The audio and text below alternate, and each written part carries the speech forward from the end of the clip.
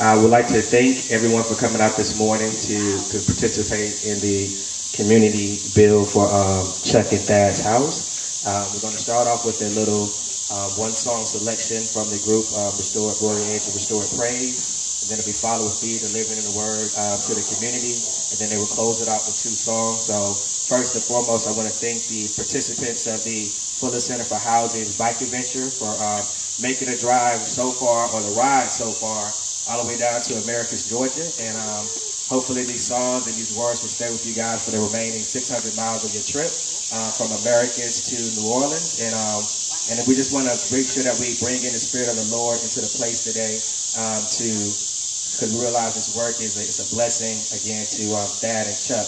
And we understand the sweat and labor that we put into it will also make it a better living environment for them. So Again, I'm Brother Fredo, and I'll be back a little bit later on, but we're going to open up a little bit of song and kind of get our energies and stuff up. So if you feel like clap your hands, clap your hands. If you feel like jumping up and down, jump up and down. If you feel like running around in a circle, feel free to run around in a circle. If somebody has a bicycle, they want to ride around the house a couple times, feel free to get on your bike and ride around the house a couple times, all right?